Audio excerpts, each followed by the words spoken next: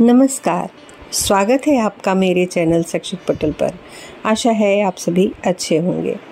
मैं doctor Sunita Mishra. Video को पूरी ज़रूर देखिएगा। राम की श्री हैं सीता जी। जब हम श्री राम कहते हैं तो उसमें श्री शब्द सीता जी के लिए आता है। वस्तुतः सीता राम की शक्ति और शोभा है। पुत्री, पुत्रवधु, पत्नी और माँ के रूप में उनका आदर्श स्वरूप है। भगवती सीता, भगवान श्री रामचंद्र जी की शक्ति और राम कथा की प्राण है।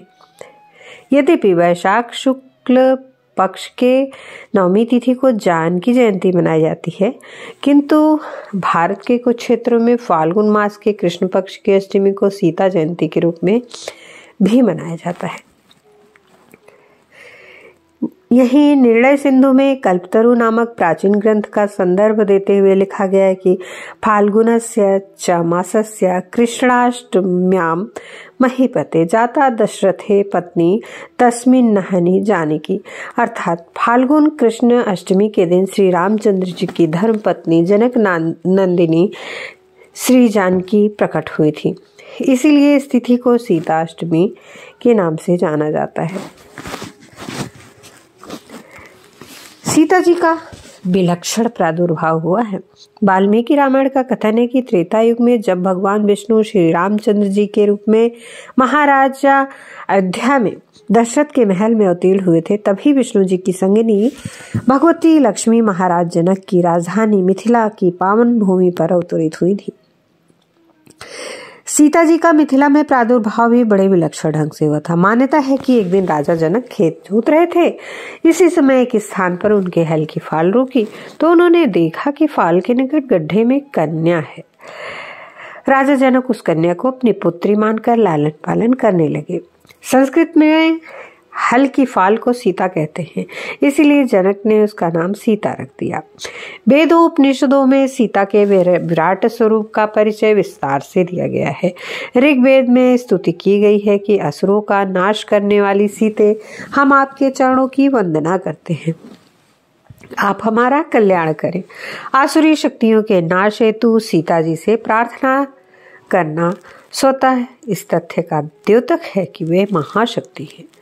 सीतोपनिषद में सीता को ही मूल प्रकृति अर्थात आदि शक्ति माना गया है। इस उपनिषद में उनका परिचय देते हुए कहा गया है कि जिसके नेत्र के निमेश, उन्मेष, मात्र से ही संसार की सृष्टि, स्थिति, संहार आदि क्रियाएँ होती हैं, वह सीता जी हैं। श्री रामोत्तर उत्तर तापनी उपनिषद में भी यही संदेश मिलता है। समस्त देहधारियों की उत्पत्ति, पालन तथा संहार करने वाली आद्य शक्ति ही मूल प्रकृति संज्ञक श्री सीता जी हैं। गोस्वामी तुलसीदास, श्री रामचरित मानस में इन्हीं तथ्यों को उजागर करते हुए सीता जी को नमन करते हैं। संसार की उत्पत्ति पालन तथा संहार करने वाली समस्त क्लेशों को हरने वाली, सब प्रकार से कल्याण करने वाली श्री रामचंद्र जी की प्रियतमा सीता जी को मैं नमस्कार करता हूँ।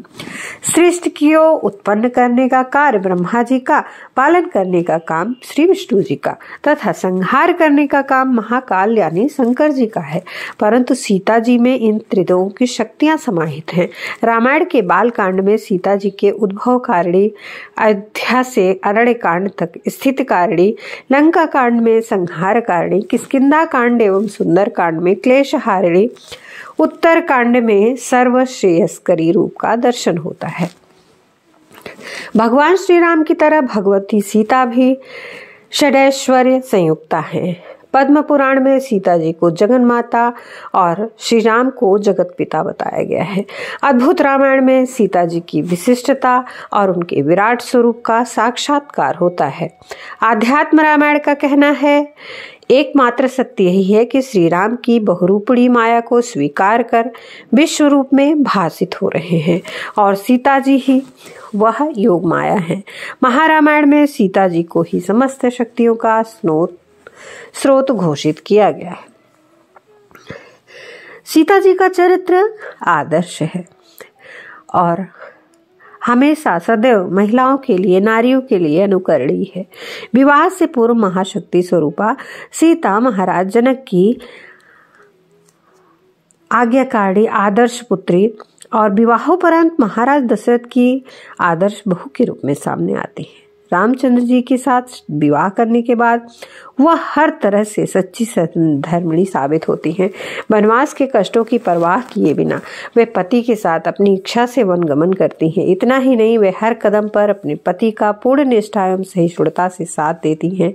वाल्मीकि आश्रम में अपने पुत्र लव कुश को अच्छे संस्कार देकर उन्हें उनके वंश के अनुरूप तेजस्वी बनाती हैं। पुत्री पुत्र बधु पत्नी और माँ के रूप में सर्वत्र उनका आदर्श रूप ही सामने आता है। संसार में अवतरित होने पर आध्यात्मिक आद्य शक्ति जिस कुशलता से अपने धर्म एवं कर्तव्य का पालन करती हैं, वह संपूर्ण जगत के लिए प्रेरणादायक है। रामचंद्र जी को जब सीता जी ने वरमाला पहनाई तो वे बन गए श्री राम वस्तुतः श्री राम की श्री सीता ही हैं। इसीलिए तो हम या तो सीताराम कहते हैं, या फिर सिर्फ़ श्री राम सही मायनों में भगवान रामचंद्र की श्री रूपा शक्ति सीता ही है और उनका चरित्र अनंत काल तक अनुकरणीय है, हर दृष्टि से। रावण के करीब आते ही क्यों घास का तिनका उठा लेती थी माता सीता? माता सीता का एक रोचक प्रसंग है, जिसमें माता सीता के घास का तिनका उठाते ही रावण पीछे हट जाता था। रावण जब सीता जी का हरण करके लंका ले गया, तब माता सीता अशोक वाटिका में वट वृक्ष के नीचे बैठकर केवल प्रभु श्री राम का स्मरण और चिंतन करती रहती थी। रावण बार बार आकर सीता जी को धमकाता था, लेकिन सीता जी कुछ नहीं कहती थी। रावण ने श्री राम का वेश रखकर सीता जी को भ्रमित करने की कोशिश की। रावण थक हार कर जब अपने शयन कक्ष में पहुँचा तब मंदोदरी ने पूछा, आपने राम का वेश धरा था, फिर क्या हुआ? रावण ने कहा, जब मैं राम का रूप लेकर सीता के समक्ष गया, तब सीता मुझे नज़र ही नहीं आई। रावण ने फिर कोशिश की लंकापति रावण हार कहाँ मानने वाला था? उसने फिर से माता सीता के करीब आने का प्रयास किया और माता सीता के पास जाकर बोला, मैं तुमसे सीधा साधा संवाद करता हूँ और तुम कैसी नारी हो कि मेरे पास आते ही घास का तिनका उठाकर उसे ही घुर घुर कर देखने लगती हो? क्या घास का तिनका भगवान राम से भी ज़्यादा प्यारा है? रावण के इस प्रश्न को सुनकर माता सीता की आँखों से आँसू की धारा बह निकली। आई जानते हैं क्या है इस दिन के का रहस्य।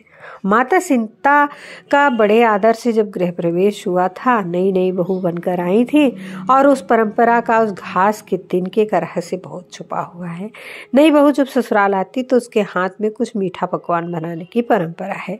सीता जी ने उस दिन अपने हाथों से खीर बनाई और राजा दशरथ समेत सभी ऋषि मुनियों को खीर परोसी। सीता जी ने जैसे ही खीर परोसना शुरू किया, तभी ज़ोर से एक हवा का झोंका आया। सभी ने अपनी अपनी पत्तल संभाली। सीता जी जब तक कुछ समझ पाती, तब तक राजा दशरथ जी की खीर पर एक छोटा सा घास का तिनका गिर, आकर गिर पड़ा। सीता जी ने उस तिनके को देख लिया, लेकिन प्रश्न ये था कि आखिर खीर में हाथ कौन डाले? तब सीता जी ने दूर से ही उस तिनके को घूर कर देख लिया तो वो तिनका राख का एक छोटा बिंदु बनकर रह गया। सीता जी ने सोचा किसी ने नहीं देखा, लेकिन दशरथ जी ये सब देख रहे थे। फिर राजा दशरथ चुप रहे और अपने कक्ष में चले गए। वहाँ सीता जी को बुलाया। राजा दशरथ ने सीता जी से कहा, मैंने भोजन के समय तुम्हारा चमत्कार देख लिया। आप साक्षात जगत जननी का दूसरा रूप है। लेकिन एक बात मेरी याद रखना, आज उस तिनको को जिस नज़र से देखा था, उस नज़र से आप अपने शत्रु को कभी मत देखना। इसलिए सीता जी के सामने जब रावण आता था तो वह उस घास के तिनके को उठाकर देखने लगती थी और रावण भयभीत हो जाता था और पीछे हट जाता था। जय श्री राम जय जय श्री राम जय सिया राम।